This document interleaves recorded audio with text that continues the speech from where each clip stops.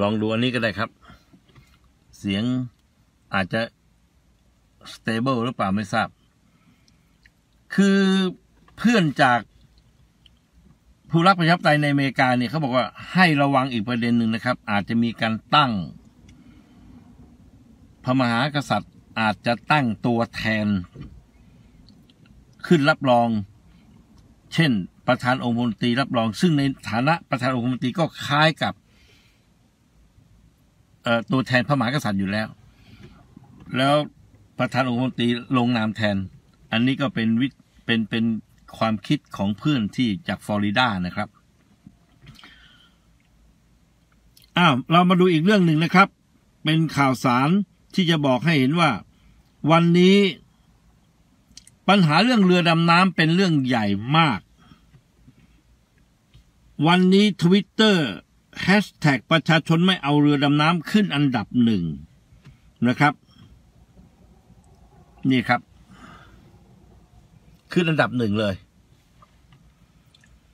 คุณจาตุรนต์ ฉายแสง บอกว่า ในขั้นตอนการพิจารณางบประมาณ แก่หน่วยราชการผู้รับผิดไม่พึงแถลงข่าวกดดันการตัดสินใจของคณะกรรมการ โดยเฉพาะกองทัพ ยิ่งไม่ควรแสดงความเห็นทางการเมือง เพราะเป็นการไม่รู้หน้าที่ คือวันนี้เห็นชัดเจนนะครับว่า วิธีคิดของทหารไทยนี่ ไม่น่าเชื่อมันล้าหลังมาก ผมเคยพูดกับท่านตอนที่มีการรัฐประหารใหม่ ๆ ที่คุณประยุทธ์ทำรัฐประหาร แล้วผมรีภัยออกไปอยู่ต่างประเทศเนี่ย ผมบอกว่า สิ่งที่แปลกประหลาดที่สุดก็คือโลกพัฒนาไป ประชาชนคนไทยเรียนรู้ไปกับโลก รู้เห็นประเทศที่เขาเจริญแล้วเนี่ย เขาสามารถที่จะมีชีวิตที่ดีขึ้น จากเห็นชัดเจนว่าจากระบบประชาธิปไตย แต่ชนชั้นนำไทยนี่กลับถอยหลังครับ แล้วในช่วงหกเจ็ดปีที่ผ่านมานี่เห็นชัด โดยเฉพาะตั้งแต่แผ่นดินใหม่เนี่ย พระมหากษัตริย์ไทยได้แสดงจริยวัตรมีลักษณะไม่เป็นไปตามพัฒนาการของโลก ฝืนความรู้สึกของประชาชนอย่างมาก นี่คือปัญหาใหญ่ที่สุด ที่ผมบอกกับท่านไว้แล้วว่า สังคมมันอยู่ไม่ได้นะครับ อย่างเงี้ยชนชั้นนำเดินถอยหลัง วิธีการเดินถอยหลังที่เป็นรูปธรรมที่สุดคือการเรื่องใช้งบประมาณพอผมมาเห็นคลิป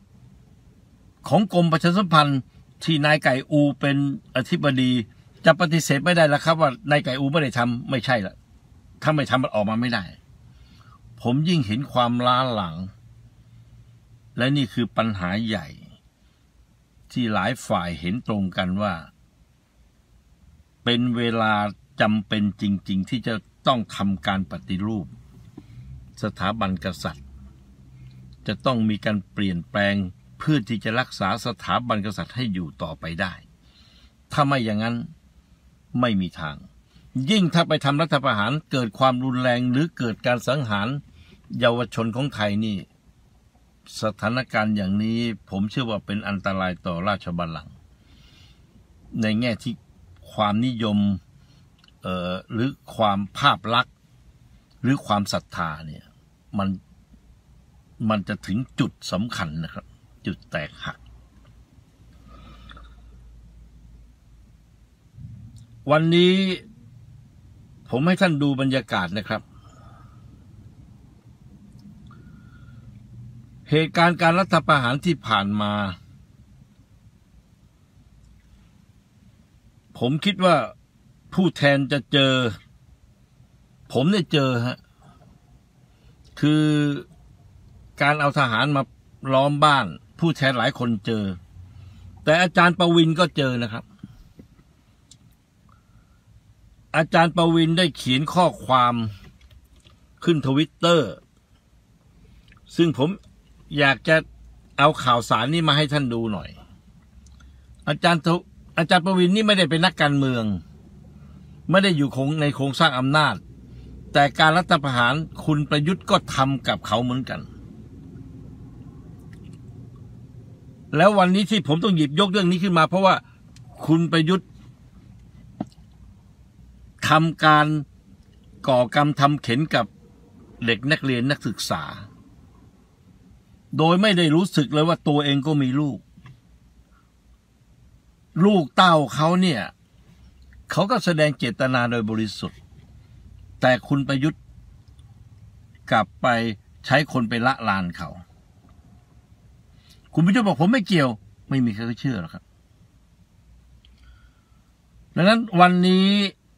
การตอบโต้คุณประยุทธ์ในกรณีที่คุณประยุทธ์บอกว่า เห็นใจผมด้วยนะ ลูกสาวผมไม่เกี่ยวอะไรเนี่ย วันนี้เวรกรรมมันมาถึงคุณประยุทธ์แล้ว สิ่งที่คุณประยุทธ์ทำเนี่ย คุณประยุทธ์ไม่ได้รู้สึกเลยว่าทำกับเยาวชน การที่จับผู้คนมาปรับทัศนคติจับเข้าคุกนั่นแหละครับ โดยใช้ค่ายทหารเป็นคุกเนี่ยในอดีตที่ผ่านมา แล้ววันนี้ก็กำลังดำเนินการกับเด็กเยาวชนเนี่ย มันก็มากระทบถึงลูกสาวคุณประยุทธ์ อาจารย์ประวินบอกว่า หลังรัฐประหารอีประยุทธ์ในฐานะหัวหน้าคอสช เรียกท่านไปปรับทัศนคติออกหมายจับ ยึดหนังสือเดินทางไม่พอ ยังส่งคนไปรังควานคุณแม่ที่บ้าน อย่างน้อยสองครั้ง ทุกครั้งเอาทหารไปเพื่อไปข่มขู่อยากถามว่า นี่นี่ท่านพูดเองนะใช้ภาษาท่านหน่อยนะ แม่กูเกี่ยวอะไรด้วย ตอนนี้ ท่านใช้คำว่าตอนนี้อีประยุทธ์ครวญว่าคนกำลังไปรังควานอีลูกแฝดสกอยของมัน มันถามว่าลูกมันเกี่ยวอะไรด้วย อาจารย์อาจารย์ประวินนี่ถ้าไม่อ่านตรงนี้ จะไม่ได้รสชาติของท่านนะฮะท่านบอกว่า เออท่านบอกว่า นายประยุทธ์บอกว่า ลูกมันเกี่ยวอะไรด้วย อีดอก อีดอก ทีนี้รู้แล้วหรือยังว่า กูรู้สึกยังไงตอนมึงส่งขี้ข้ามึง ไปรบกวนแม่กู นี่คือนี่คือข้อเท็จจริงนะครับ ที่มันเกิดขึ้นจริง ที่คุณประยุทธ์บอกว่า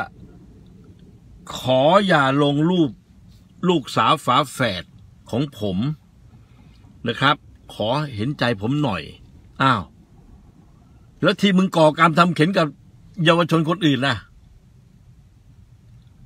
ผมก็เจอครับ ลูกเต้าก็เจอครับ นี่คือความล้าหลังของวิธีคิดของทหารไทย ที่มองประชาชนเป็นศัตรู วิธีที่คุณประยุทธ์ทำกับประชาชนเนี่ย เหมือนกับที่ทหารทำกับศัตรู เป็นอริราชศัตรูนอกต่างด้าวนะ นอกต่างต่างด้าวเท้าต่างแดนนะ ดังนั้นวันนี้ ผมผมว่าไอ้รูปอย่างนี้เนี่ย เป็นรูปที่นายประยุทธ์เขาทำขึ้นมา เพราะมันมีข่าว เรื่องมีการติดตามลูกนายประยุทธ์บ้าง ผมว่าเรื่องอย่างนี้เป็นเรื่องที่ เราจะเข้าใจได้นะครับ ว่าสถานการณ์เป็นอย่างไร เรามาดูข่าวนี้นิดนึงครับ ก่อนที่ผมจะพาท่าน หลังจากนี้ผมจะพาท่าน ไปเที่ยวชมป่า ป่ากลางกรุงวอชิงตันดีซีครับกลางเมืองหลวงของสหรัฐอเมริกา ในภาวะโควิดระบาดนะเดี๋ยวเดี๋ยวพบกัน แต่ว่าก่อนจะจากกันวันนี้ ให้ท่านดูนี่นิดหนึ่งครับ อาจารย์จรันอยู่ที่ฝรั่งเศสเนี่ยท่านก็เป็นผู้อาวุโสนะครับ และเป็นอดีตกรรมการสิทธิมนุษยชน ท่านก็ช่วยประสานงานหลายเรื่อง ตอนหลังเนี่ยมีการลังควานครับ จากอำนาจพิเศษ จากอำนาจมืด จะเรียกว่าอำนาจมืดหรือ ไอโอหรืออำนาจเยอรมันก็แล้วแต่เลยนะฮะ มีการไปลังควานผู้รักประชาธิปไตยที่ออกมาแสดงความคิดเห็น ซึ่งในต่างประเทศนี่เขาถือเป็นเรื่องปกตินะครับ การแสดงความคิดเห็นเนี่ย ปรากฏว่าอาจารย์จรันทำหนังสือ ถึงทางราชการของฝรั่งเศส วันนี้ถ้าไม่บอกข่าวตรงนี้ เดี๋ยวท่านจะไม่เห็นว่าระบบประชาธิปไตยเนี่ย มันไม่เพียงแต่ประชาชนมีสิทธิ์ที่จะประท้วงรัฐบาล โดยรัฐบาลไม่ไปจัดม็อบมาโต้มาต้านม็อบตีกันไม่มีนะครับ แต่แม้ว่าผู้ลี้ภัยเนี่ย แจ้งไปยังส่วนราชการของเขาเนี่ยนะครับ เขาก็ให้ความดูแลนะครับ อาจารย์จรันโพสต์ข้อความบอกว่า รัฐมนตรีว่าการกระทรวงไทยของฝรั่งเศสได้ตอบกลับหนังสือให้เขาทราบโดยแจ้งให้ผู้บัญชาการตำรวจ ของฝรั่งเศสเนี่ยทำการคุ้มครองผู้ลี้ภัยทางการเมืองไทยด้วย นี่คือหนังสือลงวันที่ 19 สิงหาคมนี้ครับตอบกลับมา เห็นนะ นี่คือประจักษ์พยานหลักฐานว่าประเทศที่เจริญแล้ว นี่คืออารยธรรมของจริงประเทศไทยที่บอกมีอารยธรรมนี่มันของปลอมโฆษณาชวนเชื่อไปอย่างนั้นเองนะครับ เนี่ยคืออารยธรรมจริงคือ การละเมิดสิทธิส่วนบุคคล จะไปตามทำให้เขาเป็นเพราะเขาเสนอความเห็น แม้กระทั่งเสนอความเห็นเรื่องเจ้าเรื่องประธานาธิบดีเรื่องนักการเมืองเป็นสิทธิทั่วไปครับและท่านเห็นนะครับว่าการประท้วงใหญ่ ในสมัยของประธานาธิบดีมาครองที่เกิดขึ้น เมื่อไม่กี่เดือนมาเนี้ยโอ้โหดูท่าทางรุนแรงเหลือเกินครับถ้าเปรียบเทียบกับเมืองไทยนะเมืองไทยฐานแล้วแต่ปรากฏว่าในในฝรั่งเศสเขาไม่เองรัฐบาลไม่มีใครคิดว่าทำรัฐบาลเพื่อจะทำให้บ้านเมืองสงบนั่นและแล้ววันนี้ก็สิ่งปกติคือการประท้วงประชาชนมันเป็นความอึดอัดในระบบประชาธิปไตยหรือในสังคมใหญ่ๆเนี่ยประเทศที่แล้วเนี่ยเขาจะปล่อยให้ การแสดงออกเนี่ย เป็นการ ระบายความร้อนแต่ประเทศไทยนี่พอระบายความร้อนมันทำลายเครื่องเครื่องทำความร้อนนั่นเลยได้ข่าวที่จะมีการรัฐประหารเนี่ยถามว่ามีได้ไหมมีได้ครับที่ผมวิเคราะห์มาเป็นระยะแต่ว่าเพียงแต่ว่าขณะนี้มันไม่มี แต่ไม่ได้หมายความว่ามีแล้วจะบอกไม่ได้ถ้ามันมีสัญญาณใกล้กว่านี้ เราก็ติดตามตลอด เราก็จะบอก แต่นี่ ผมเคาะไปแล้วเมื่อวันเสาร์มันเป็นการขู่ของนายอภิรัตน์นายอภิรัตน์ทำไม่ได้ตอนนี้เพราะว่านี่ก็ใกล้จะทุกอย่างจบแล้วนะครับเพราะจะต้องมีการตั้งผู้บริการอาหารผู้บริการเราทัพใหม่สามสิบกันยานที่กมอกันแต่ตอนนี้เนี่ย สิงหาเนี่ยกำลังจะปรับเปลี่ยนแล้ว ก็ถามบอกว่านายพิรัตทำรัฐประหารอีกเดือนก่อนจะสิ้นอายุเนี่ยแหมอันนี้ก็ถือว่าเป็นประวัติศาสตร์นะครับ ไม่ไม่ทิ้งลายพ่อกับลูกเลยทำได้ไหมได้ครับ เพราะอะไรฮะเพราะผู้บัญชาการทหารบกคนนี้กับว่าที่ผู้บัญชาการทหารบกคนใหม่คอแดงเหมือนกันคำว่าคอแดงเนี่ย คือทหารราชองค์รักนะนี่เป็นศัพท์ที่เขาใช้อยู่ ขณะนี้มีข้อมูลเข้ามาเยอะแล้วเรื่องของการตั้งอาหารที่มีลักษณะ ผิดหลักเกณฑ์ที่กองทัพเขาทำกันและส่วนใหญ่เขาบอกว่าพาเรากันหลายจุดเลยครับ แล้วบอกว่าคนที่ชี้จริงๆเนี่ยไม่ใช่ไปไม่ใช่สภากลาโหมแต่เป็นสภาเดียวผม ยังไม่วิเคราะห์เรื่องนี้นะครับ เรื่องการแต่งตั้งเขาบอกเราครับมาเนี่ยขอให้ถึงที่ตั้งที่สัญญาดีๆก่อนครับ เดี๋ยวมันติดขัดขัดมันจะเสียอารมณ์ แน่นอนไม่กินสัปดาห์สองสัปดาห์เนี่ยผมจะเก็บรายละเอียดสายข่าวหลายๆทางจะบอกให้ท่านรู้ เพื่อไม่พูดเลยลอยๆว่าตกลงใครตั้ง เรารู้แล้วล่ะครับ และทุกคนเชื่อเช่นนั้น แต่การเชื่อนั้นต้องเอาหลักฐานมาดูและลงรายละเอียดนะฮะดังนั้นวันนี้จันจันก็รายงานมาว่ารัฐมนตรีว่าการกระทรวงมหาดไทยของฝรั่งเศสได้หนังสือสั่งการไปแล้ว ให้ดูแลผู้ลี้ ตามหนังสือที่ผมให้ท่านดู อาจารย์ยันยังรายงานด้วยว่าวันนี้ข่าวการประท้วงในประเทศไทยต้องถูกจับตาจากสื่อต่างประเทศอย่างมากนะครับท่านจับตานี้ท่านอาจจะบอกว่าอ้าวก็เป็นการจับตาทั่วไปมั้งการประท้วงกับเป็นข่าวไม่ใช่ครับ แต่วันนี้การประท้วงของประเทศไทยเนี่ยมีลักษณะพิเศษตรงที่ เป็นการประท้วงแสดงความเห็นเกี่ยวกับราชสำนัก อันนี้จะเป็นเรื่องใหญ่นะครับ ที่ขณะนี้ ข่าวทั่วโลกกำลังสนใจเรื่องนี้มาก เออ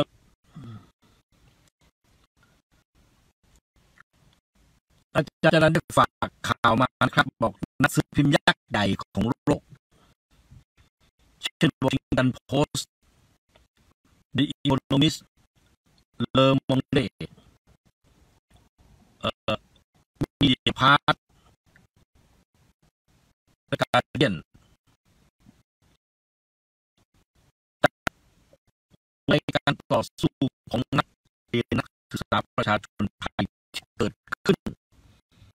หนึ่งเดือนที่ผ่านมา โดยเฉพาะเป็นกระแสสูง ที่มุ่งมาที่รูปสถาบันกษัตริย์การปฏิรูปสถาบันกษัตริย์ข่าวเกี่ยวกับเรื่องการปฏิรูปสถาบันกษัตริย์เนี่ยหนึ่งไม่เคยมีประเทศไทยเลยสองการปฏิรูปสถาบันของโลกช่วง งระบบปกครองจากกษัตริย์สู่ระบบ ประธานาธิบดีหรือการเปลี่ยนแปลงนี้ ถือเป็นเหตุการณ์ใหญ่ ไม่ว่าประเทศไหน ไม่ว่าเมื่อไหร่ย้อนหลังกับสร้อยปีตอนนั้นที่มันยังไม่มีอย่างนี้นั่นฝรั่งเศสแต่เหตุการณ์โค่นราชวงศ์บูบองในฝรั่งเศสก็กลายเป็นประวัติศาสตร์ที่เรียนต่อกันถึงวันนี้ พื่อให้เห็นยุคสมัยเปลี่ยนแปลงปฏิวัติโค่นล้มราชวงศ์โรมานอฟในรัสเซียก็หนังสือตำราที่เขียนวิเคราะห์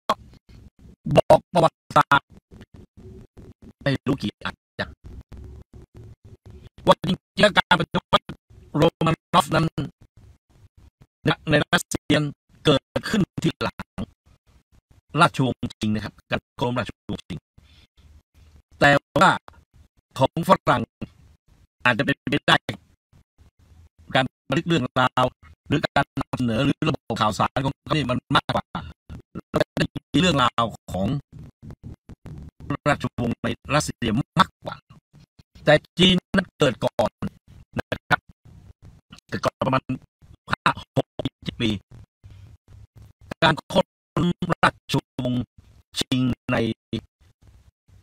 เอเชียหรือในจีนเนี่ยถือว่าเป็นเสาหลักของศาสนาในเอเชีย ที่ผมเคยบอกท่านว่าจักรวรรดิใหญ่ๆในโลกเนี่ย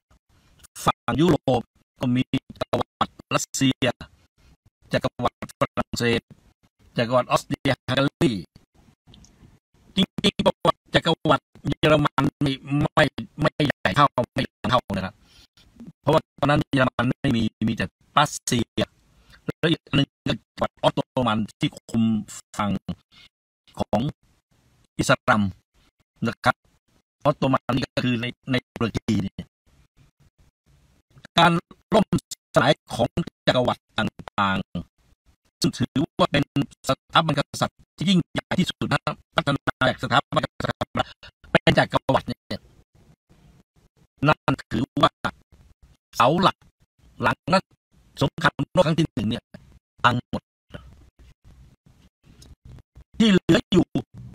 ก็มาพังตอนสงครามโลกครั้งที่สองคือจักรวรรดิญี่ปุ่นพังเพราะสงคราม แต่ว่ายังดำรงฐานะจากการปรับตัวจากสงคราม แล้วก็อเมริกาเห็นว่า ให้ดำรงฐานะไว้แต่อเมริกามาเขียนรัฐธรรมนูญเอง เรื่องนี้เป็นเรื่องข่าวใหญ่เป็นเรื่องที่เล่าลือกันยาวนานหลังจากนั้นก็ไม่มีกษัตริย์ราชวงศ์ใหญ่เหลืออยู่ในโลกนี้ แต่การเปลี่ยนแปลงจากระบบกษัตริย์ไปสู่ระบบสาธารณรัฐเนี่ยยังเป็นเรื่องใหญ่ ที่สื่อต่างประเทศจะจับตาแม้จะเป็นประเทศเล็ก ๆ อย่างเนปาลเนปาล ก็เพิ่งสิ้นสลายไป เป็นเรื่องที่น่าศึกษามากที่เนปาลนั่นก็คือกษัตริย์ขึ้นมาใหม่ แล้วขึ้นมาจากวิกฤตของราชวงศ์เองนะครับ แล้วก็พอขึ้นมาใหม่ก็รวบอำนาจสุดท้ายทำรัฐประหารพอทำรัฐประหารแนวร่วมต่าง คนชั้นกลางการเมืองต่างๆร่วมกัน แต่ว่าในเนปาลยังมีพรรคคอมมิวนิสต์ที่ติดอาวุธ แต่ประเทศไทยวันนี้พรรคคอมมิวนิสต์ไม่แล้วสิ้นสลายไปแล้ว โดยการตั้ง แต่ยังหลงเหลือจิตวิญญาณของนักต่อสู้ ที่เป็นอดีตสมาชิกพรรคคอมมิวนิสต์แต่แตกเป็นสองฝั่งก็ไม่เป็นไรทั้งหมดนี้ผมไม่บอกว่ามันเหมือนกันทีเดียว แต่อยากจะบอกให้รู้ว่า ข่าวเกี่ยวกับ เรื่องของราชสำนักหรือเกี่ยวกับการเปลี่ยนแปลงของสถาบันกษัตริย์ที่เริ่มนับหนึ่งเนี่ยเขาจะตามมาเมื่อจับตามากเหตุการณ์อะไรต่างๆที่เกิดขึ้นมันจะโยงไปถึงสถาบันอย่างชัดเจน ไม่ต้องไปอ้อมค้อมเหมือนเหตุการณ์ 6 ตุลาในอดีตแล้วที่ผมตรงนี้ไม่ผมไม่ได้อยากเห็นการเปลี่ยนแปลงคนรู้สถาบันแต่ผมกำลังจะบอกให้พี่น้องรู้ว่าวันนี้ทุกฝ่ายวิตกกังวลกับสิ่งที่เรียกว่าเยอรมันอันตราย อันตรายทั้งระบบภาษีอันตรายทั้งการใช้เงินงบมันแผ่นดิน อันตรายทั้งที่ กระทำต่อบุคคลที่ไม่เห็นด้วย ซึ่งทุกคนเชื่อว่าน่าจะมาจากตรงนั้น การเสียชีวิตของบุคคลอย่างลึกลับ การอุ้มหายหลายอย่างทำให้ทุกคนเห็นตรงกันว่า เป็นเวลาที่ต้องปฏิรูปเพราะไม่อย่างนั้นอยู่กันยาก และถ้าเกิดเหตุมันบานปลายไปโอ้โห มันเป็นเรื่องใหญ่เลยนะครับ ข่าวที่อาจารย์จรันบอกมากับเป็นรูปธรรมหนึ่งนะครับ ที่ท่านอาจจะรู้แล้วก็คือโลกทั้งโลกกำลังสนใจข่าว การชุมนุม เพราะว่าการชุมนุมในประเทศไทยวันนี้เป็นการชุมนุมที่มีประเด็นสำคัญคือเสนอการปฏิรูปสถาบันกษัตริย์ดังนั้นสปอตไลท์ของโลกจึงกลับมาที่ประเทศ การรายงานแล้วก็เลยติดภาพนิดหนึ่งผมยาวเยอะเลย ออกไปชนบทฝรั่งเศสนี่ครับ ไปเก็บพริกไล่ผักผลไม้ชันปารีสหลังจากการติดตามชุมนุมนักเรียนนักศึกษาประชาชนมาทั้งเดือนผมยาวเฟ้เลยนะครับกระดาษผม ตอนนี้ก็เดือดร้อนเหมือนกันเพราะว่ากระดาษผมส่วนใหญ่เลยนะครับ ไม่เปิดในช่วงโรคร สำหรับวันนี้นะครับข่าวประจำรายการต่างๆ อาจจะปิดไปบ้างนะครับ ก็ขออภัยในการเป็นช่วงเวลาของการเดินทางนะครับ แล้วเดี๋ยวจะกลับมาพบกันใหม่ ตามเวลาปกติคิดว่าคงจะถึงเป้าหมายและตั้งหลักได้เรียบร้อย ในวันพฤหัสแล้วก็ติดตามกันอีกทีแล้วกันครับ ขอบคุณครับคุณติดตามชมรายการสด แล้วก็เดี๋ยวดู ทีหนึงนะฮะที่กระท้อนกระแทกเนี่ยตอนปรับขึ้นยูทูบดูอีกทีแล้วกันนะครับ ขอบคุณทุกท่าน อย่าลืมนะฮะ ทุกคลิปของสสสุนายเห็นอะไรไม่ว่าที่ไหนกดไลค์ด้วยเพื่อคลิปของเรานี้กระจายตัว แล้ววันนี้ประเด็นสำคัญที่ฝากนั่นก็คือความเห็นของเพื่อนผู้รักประชาธิปไตยที่ฟลอริดาแต่ท่านบอกไม่เอ่ยชื่อ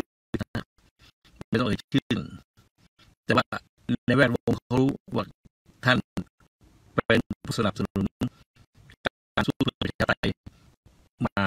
ยาวนานแล้วครับนานกว่าสิบปีแล้ว แล้วก็ไม่คลอแรงท่านฝากบอกว่าเตือนประเด็นนี้อยู่นะคุณสุนายอย่าอย่าตั้งประเด็นเรื่องหลวงรัชกาลที่สิบจะลงพระปราพิไทยในการรัฐประหารอย่างเดียว อาจจะมีประเด็น แยกไปได้ว่า ไม่ได้ลงนะครับ แต่ใช้ประธานองคมนตรีลงคำถามผมบอกทำได้ไหม ผมบอกในประเทศไทยนี่กฎหมายยอยักษ์มันเป็นนานแล้วทั้งกฎหมายทั้งกฎหมายอาญานะครับ และลักษณะคดีต่างๆ ไม่จะเป็นเป็นคดีเกี่ยวกับคดีการเมืองครับคดีปกติเนี่ยยอยักษ์ก็หายอย่างกรณีเรื่องของกระทิงแดงเนี่ย ของกระทิงแดง เรื่องของนายโมเรื่องของนายใบพศและอีกหลายหลายๆเรื่องความเป็นสองมาตรฐานนี้ผมเรียกว่ากฎหมายย่อยักษ์หายของไทยครับ แล้วพบกันใหม่ขอบคุณครับสวัสดี